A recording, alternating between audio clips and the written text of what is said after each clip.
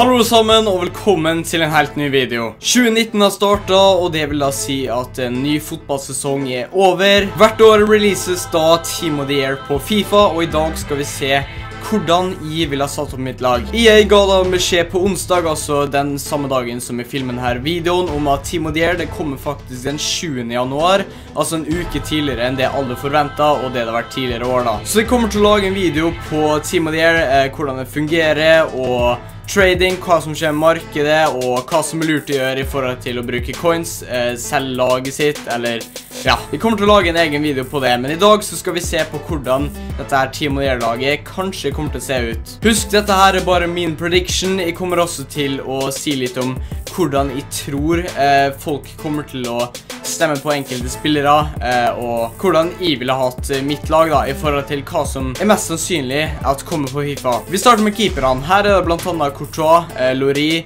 vi har da Digea, Allison og Oblak. Alle er veldig gode kandidater, har gjort en fantastisk sesong, alle fem keeperne, eh, men jeg velger da å gi plassen til Oblak. De som kanskje ikke følger så veldig mye med på fotball, eh, vet da kanskje ikke at Oblak faktisk er en helt ekstremt god keeper og har vært det hele denne sesongen for eh, Atletico Madrid. På 50 kamper har han da hele 27 clean sheets, noe som er helt utrolig. Eh, og dette her er faktisk ny rekord også. For Atletico Madrid har han gjort det veldig bra, eh, og en viktig brikke i laget for hvordan Atletico Madrid faktisk har gjort det så bra defensivt da. Så jeg er 95 til kort her. Jeg tror mesteparten kommer til å stemme på Digea, fordi at han har liksom vært den beste keeperen.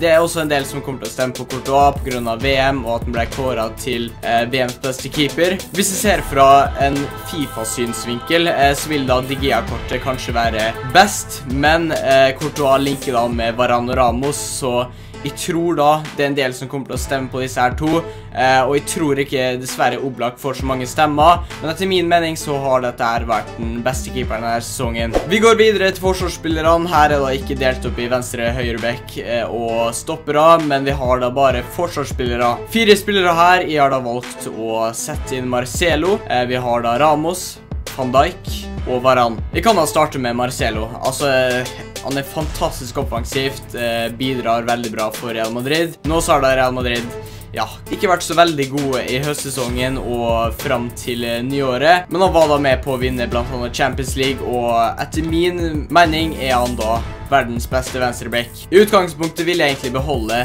sånn at vi har en venstreback, to stoppere og en høyreback, men eh, de tre stopperne her, altså høyreback-plassen har langt nær ja, samme nivå som disse her stopperne og oppnådd like mye som disse her. Jeg følte liksom, jeg kan ikke utelate en spiller, eh, fordi at Varan, fantastisk, Ramos også, fantastisk, eh, ja, eh, selv om han kommer iblant med litt sånn eh, sleipe triks, eh, og så har vi da Van Dijk. Alle er da stopperkjemper i høy klasse. Varan Champions League-gull og VM-gull. Eh, spilte også noen veldig gode kamper. Og på FIFA også så blir dette her et sinnssykt kort. Altså, han har pace, eh, og så, ja, han er... Han har det som skal for å være midtstopper. Videre til Ramos. Dette her er etter min mening verdens beste midtstopper de siste åra, altså sånn sett under ett da. I år så tror jeg ikke han har vært verdens beste midtstopper. Eh, Varan og Van Dijk har nok vært, ja, kanskje hakket bedre etter min mening. Uansett så er Ramos såpass rutinert. Altså, han har de fleste evnene for en midtstopper, selv om han ikke er den høyeste. Han har da en utrolig viljestyrke eh, og duellstyrke. Eh, og så kommer han da som sagt med litt sånn sleipetriks iblant. Ja, mange Liverpool-fans hater den for det, men eh, ja, ja. Så går vi da til eh, Van Dijk. Altså, Van Dijk har vært et monster. Jeg vet egentlig ikke hva jeg skal si. Altså, en er fantastisk på FIFA.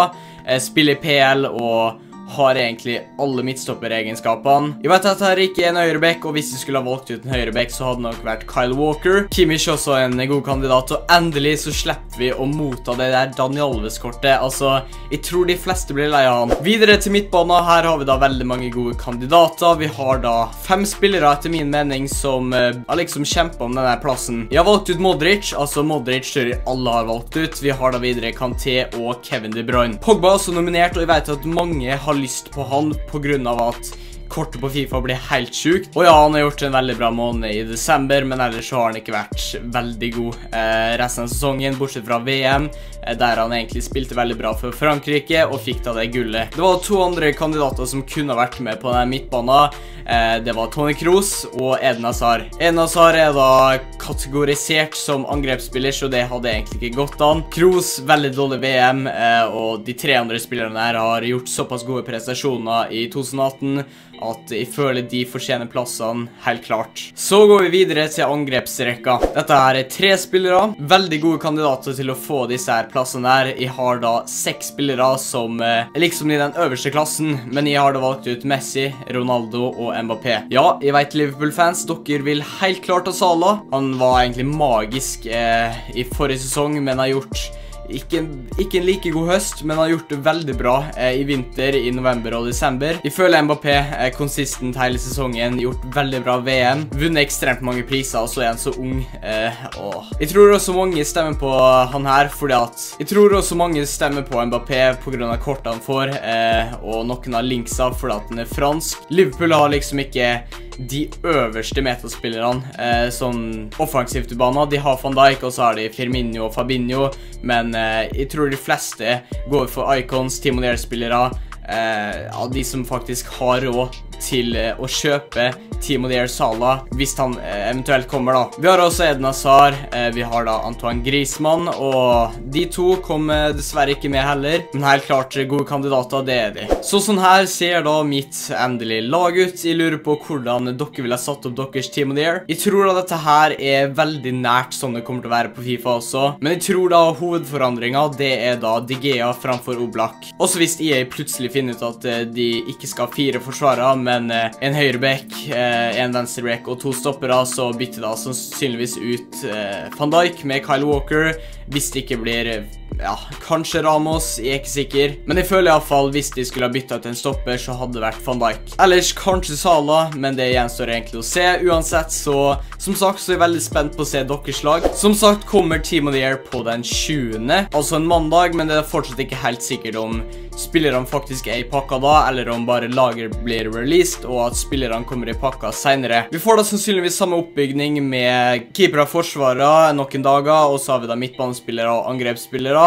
I fjor så vet jeg da at det var første angrepsspillere, så midtbane, og så keeper av forsvar, og så hele laget til slutt, men hvem vet i år. Jeg kommer som sagt med en eh, video der jeg forteller dere litt tips om markedet, hva som skjer med markedet, eh, om dere burde kjøpe eller selge lag. Men jeg kan da med en gang si at jeg ikke forventer et stort crash på metaspillere, eh, fordi at packløkken er såpass lav at det er bare lavt rated spillere og spillere med lite verdi som ja, blir discard egentlig. Gabriel Jesus, normalkortet til Martial for eksempel, Altså, de kommer til å gå til sånn 1000 coins, kanskje. Ellers så kan de sikkert ta med noen spørsmål til den eh, Team of the Air Market Crash-videoen, eh, markedvideoen. Så skriv hvis dere lurer på noe nede i kommentarfeltet. Jeg kommer med den videoen så fort som mulig, så jeg svarer dere ikke i kommentarfeltet. Jeg tar det heller opp i videoen da. Ellers så håper dere likte den her. Eh, legg også laget deres eh, til Team of the Air Nede i kommentarfeltet, sånn at vi får se hvordan dere ville ha satt på laget. Jeg er sikker på at veldig mange Liverpool-fans ville ha Sala i stedet